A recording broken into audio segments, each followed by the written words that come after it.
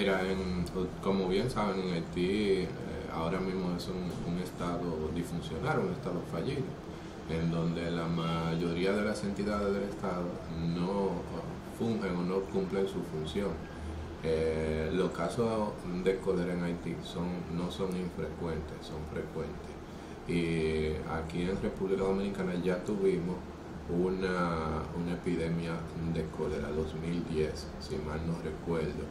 eh, luego del terremoto, en donde nosotros tuvimos una incidencia de cerca de 28 mil casos y 400 ah, defunciones en República Dominicana. Yo creo que las la personas eh, ya deben de estar concientizadas acerca de lo que es el, eh, el cólera, que es una infección que no es una transmisión de persona a persona, sino que a través de agua contaminada, entonces debemos tener eh, precaución con, en estos tiempos en donde estamos en temporada ciclónica, donde los ríos se contaminan, donde tenemos una gran migración de haitianos por la misma situación que está viviendo su país. Entonces tenemos que tomar sobre todo las precauciones que son de lugar, que es una eh, higiene en cuanto al agua potable que vamos a consumir, asegurarnos de que esa agua no se contamine,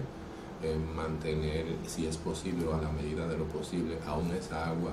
que nosotros usamos botellones, pero aún esa agua viene de botellones, de tratar de hervirla si no tenemos una fuente fiable de donde proviene,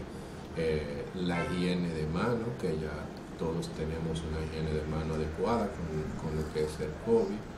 y eh, sobre todo en cualquier caso de evacuaciones diarreicas, acudir de forma ah, temprana a su médico. Eh, donde se va a hacer el diagnóstico y se le notificará a las autoridades correspondientes. Sí, el diagnóstico eh, es fácil, realmente es fácil.